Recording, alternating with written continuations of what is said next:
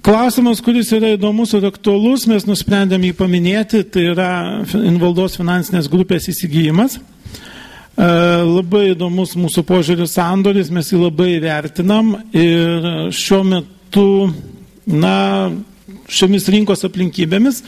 Vienas iš retų atvejų, kada sutapo visiškai praktiškai interesai dviejų asmenų, tai yra vieno kaip snoro grupės norinčio įsigyti šitą verslą, e, kito invaldos grupės, kuri turėjo ketinimų parduoti jį, kadangi yra tam tikrų trumpalaikių galbūt likvidumo problemų ir, na, sandoris abiem pusėm palankiom sąlygom, e, sukirsta rankomis, sutartis pasirašyta. Šiuo metu sandoris yra stadijoje, kada yra pateikti dokumentai gauti leidimam. E, kaip žinia, yra keturios institucijos, kuris turi duoti leidimus, iš vienos jau kaip ir gavome.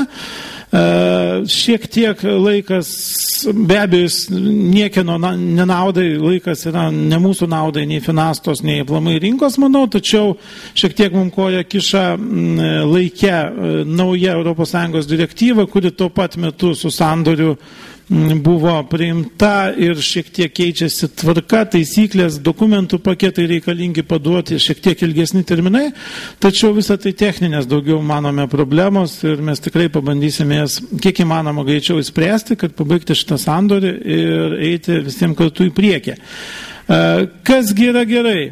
E, gerai, e, visų pirma, snoro grupiai dėl to, kad mes įgauname tikrai pagreitį ir jėgą investicinių paslaugų teikime, e, kadangi Finastos grupė yra stipri, tai yra lyderiai, nepabijosiu to žodžio rinkoje.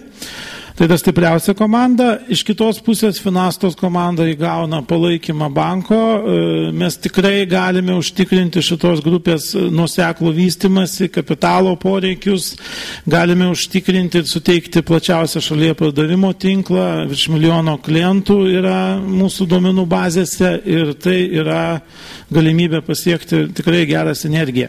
Ta bandysime ir padaryti. Trumpai apie sandorio struktūrą. Tiesiai būtų, reiškia, įsigijama mm, bankos noro, bankos noras dukterinės įmonės būtų įsigijimas, tai yra snoro investicijų valdymas, kuris šimtų procentų priklauso bankui snoras. Akcijų paketas. Ši įmonė įsigytų keturias, praktiškai penkias įmonės A, tai Invaldo turto valdymas, Invaldo Asset Management Latvija, akcinė bendrovė Finasta įmonių finansai, kuri valdo akcinė bendrovė bankas Finasta ir akcinė bendrovė finansų maklerio įmonė Finasta. A, Iš karto užbėgdamas galimiem klausimam už akių noriu pasakyti, kad mes labai vertinam Finastos vardą, mes labai vertinam Finastos specialistus ir žmonės, jų patirtį ir labai e, Tai mums yra svarbu, mes neturime jokių planų kažkaip dirbtinai keisti, reorganizuoti, um, jungti prie banko, visokiausių girdime klausimų, tikrai nieko nedarysime, finasta yra finasta, jinai ir liks. E, gali būti svarstomi tik tai dalykai tokie, kad, na, apjungti turimas mūsų įmonės, prijungti prie finastos, nepaslaptis mes esame padarę sandorį įsigiję jūsų tarpininko įmonės, mes patys turime įmonę uh, Snoras Asset management, kuri nėra labai didelė. Ir visa tai bus logiški žingsniai apjungiant, bet mes visus, apie tos visus žingsnius pranešime ir Toj vietoj apjungimo metu mes tikrai bandysime pasiekti sinergiją. Tačiau pagrindas ir, ir tikrai tas vat, gražus ir gyvas medis, kuris yra, tai yra finasta su jų patirtimi ir vardu. Na, ilgai būtų galima kalbėti apie e, finastos dalį. Mes paėmė investicinių fondų dydį pagal klientų skaičių, tai visi ružavi, pavadinkime, jeigu tokia čia spalva, stulpeliai, tai yra finastos grupės fondai. Apyvartos yra tikrai spūdingos tiek biržoje, tiek akcijomis, tiek, reiškia, prekiaujant skolos popieriais, tiek valdant pensijų fondus.